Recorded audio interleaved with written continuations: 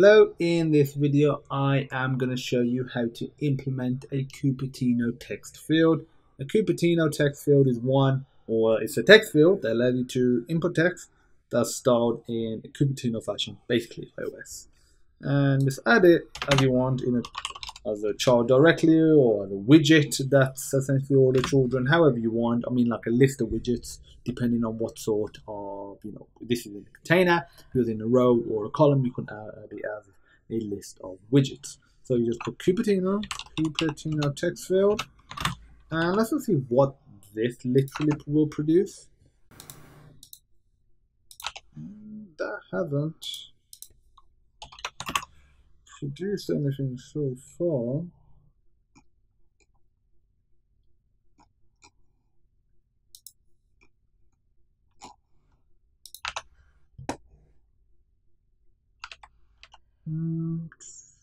Why isn't it producing it? Let me just quickly do a hot restart in case this is what is messing it up. Oh, there it is. I did not see it. So there it is right there. I'm just typing in with my keyboard and I can type in with this one as well. Uh, didn't want to click that one. And as you can see, we can just click the enter.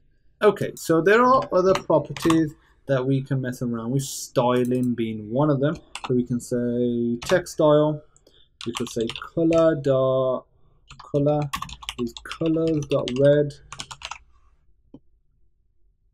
as you can see, it, is, it has a red star now, and you can modify all of this as you want. There's a whole heap of styles from font size to the height to the decoration style. And as an extra task, I recommend that you experiment with that. There's a bunch of other stuff as well, like padding, decoration. As you can see, there's a lot, you know, whether it's even enabled or not, the cursor width, the cursor radius, you know, the keyboard type, so you can change the type of keyboard, which I think is, you know, a pretty cool thing uh, again, I want you to experiment with all of this as an extra task. What I really want to show you is the event, which is, where is it, where is it, on changed, unchanged. And this requires a string value. And if I were to just print this out, Actually, I'm to do a hot restart. Okay, so if I click that,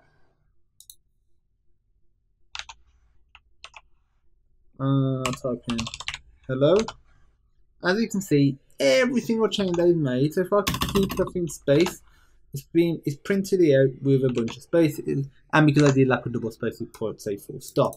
But as you can see,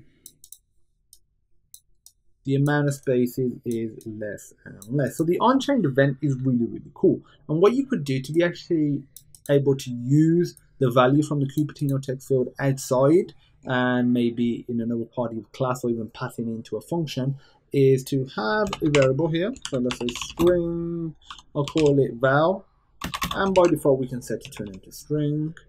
And here, we can just say val equals value.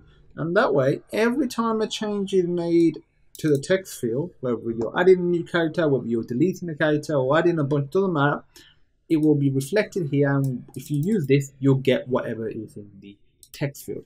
Again, there are other properties as well. I want to mess around with the other properties and have a look at these other two events on editing complete and on submitted. So the on submitted event is when you click that and also want you to you know just implement that in a very similar fashion. You could even put a print saying it has been submitted.